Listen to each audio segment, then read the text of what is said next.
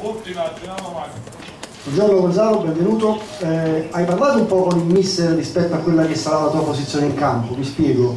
Farai il bomber vero di area di rigore o considerato che il Napoli ha molti giocatori capaci anche di inserirsi negli spazi come Amsic, Insigne, Pander, Mertens, i nuovi arrivi, potrai anche in qualche maniera favorire questo tipo di gioco e quindi creando altre opportunità per la rete, quindi oltre a quelle che potrai fare tu, magari sfruttando anche queste caratteristiche di prima punta per far salire un po' la squadra e creare questi inserimenti per la rete.